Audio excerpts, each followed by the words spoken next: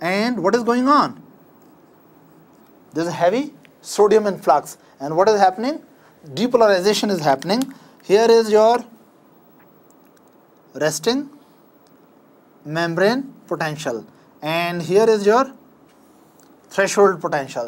So, at the beginning of the QRS in the ventricle resting membrane potential approaches yes threshold and then what I, what opens what is this fast sodium channel or voltage gated sodium channels. A lot of sodium comes in. What is happening? A lot of sodium is yes please coming into cells. So cells are being loaded with the sodium during the QRS complex formation. Is that right? During this ST segment what is happening? That potassium loss has started. Potassium loss has started. Potassium channels are working as well as calcium channels are also working, right? It means that potassium is going, yes, potassium channels open, so potassium is going out.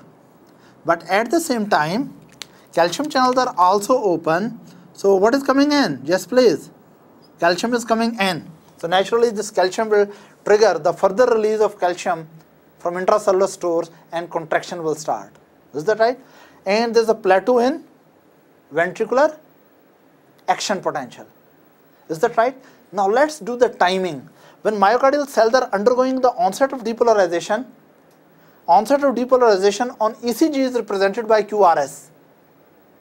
And after the depolarization, complete depolarization, there is plateau phase. During the plateau phase, calcium, channels are open as well as potassium channels are open. Potassium is going out of the cell and calcium is coming into the cell. So cell cells, myocardial cells are losing the cations as well as gaining the cations. So electrical potential is not changed, it remains stable. But by the end of this ST segment, suddenly calcium channels stop. Calcium channels become closed but potassium channel become further open is that right? These are the potassium channels. So what really happened that as time passes by now you see calcium channels are becoming off. After this point. And but potassium channels are progressively opening further. So there is heavy potassium loss. And this heavy potassium loss leads to which event? Repolarization event that now it is, it should match with repolarizing event. Right? So now you can correlate the electrical event in myocardial cells and the electrical events shown on the ECG. Again, let's recap. Myocardial cells are undergoing depolarization process, action potential is showing upstroke, which is called zero phase of depolarization. And that very time, ECG recording is showing QRS complex. So whenever you see next time in your life QRS complex, it means at that very moment, the needle is making QRS complex, ventricle cells are undergoing depolarization. When you see ST segment, then action potential is in plateau phase. And when the T wave is there, that signifies repolarization. Is that right? Now, you can see in three ways correlate the things. Number one, electrical events in the cell, action potential, vectorial analysis, and ECG pattern formation. Is it clear? Now, after this discussion, I would like that I want to discuss the different types of waves, segments, and intervals related with the ECG recording.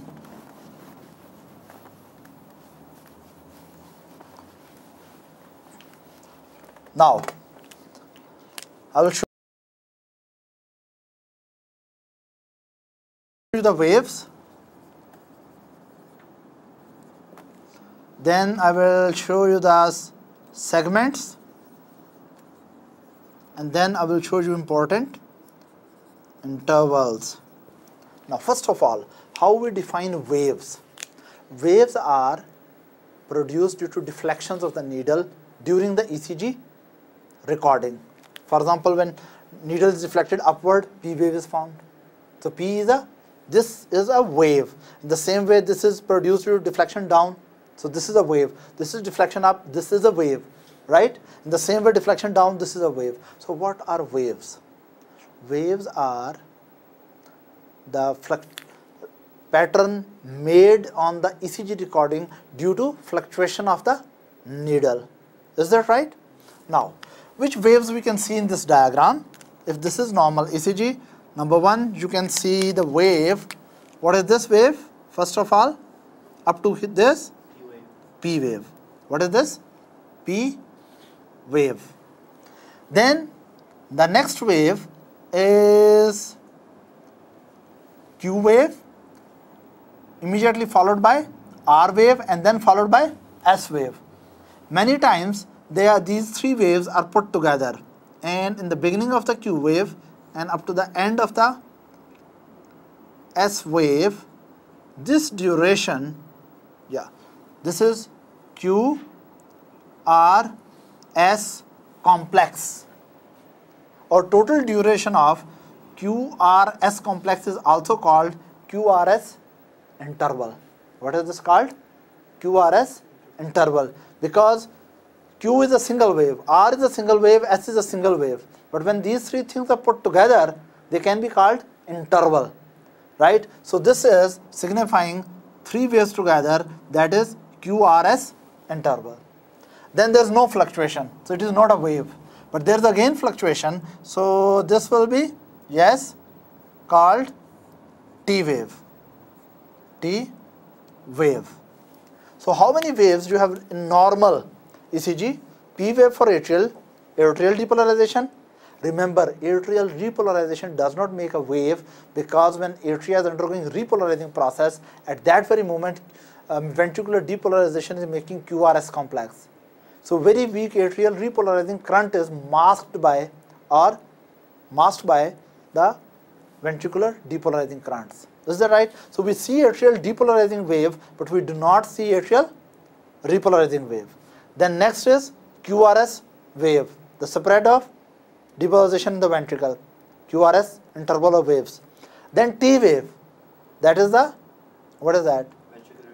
Ventricular repolarization. Now, in between the waves, you find that they are straight line. There's one this straight line, right? And there's another straight line here.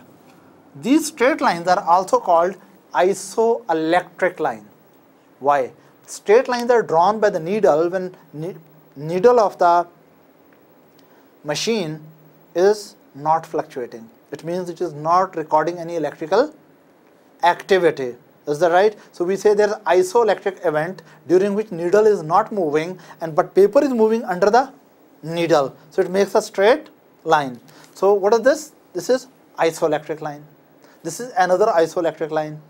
These isoelectric lines are the lines or isoelectric segments are the segments in between the waves and these segments are drawn when there is no fluctuation of the needle when electrodes are not recording any significant electrical activity in the heart. Am I right? Now, this isoelectric line, yeah, or this segment we start at the end of the P wave and ends at the beginning of QRS complex is called P R segment. What is it called? PR segment. Ideally, it should be called PQ segment. But in, when we change the position of the electrode for different leads, sometimes Q wave is not drawn. Due to that reason, conventionally, doctors started, uh, started calling uh, the segment between the P wave and the QRS complex as PR segment. Is that right? So PR segment is a straight line which signifies which electrical activity when current is passing through AV node. This is PR segment. Then you have one more segment here at the end of the QRS complex and at the beginning of T wave. So this is called as T segment.